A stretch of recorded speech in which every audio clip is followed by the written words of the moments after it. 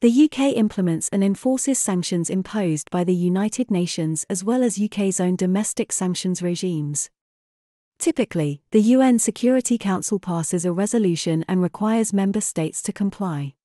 Such action has been taken against ISIL, Al Qaeda, and many states around the globe.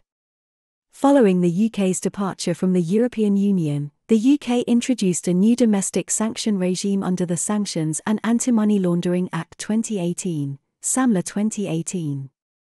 Other anti-terrorism laws allow the UK to declare its own financial sanctions involving several different agencies and departments.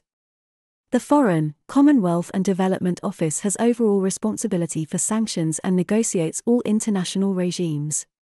The National Crime Agency, NCA, investigates breaches of financial sanctions.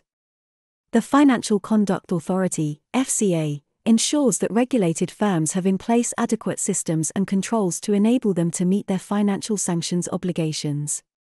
Her Majesty's Treasury's Office of Financial Sanctions Implementation, OFSI, is responsible for implementing and enforcing financial and domestic terrorism sanctions.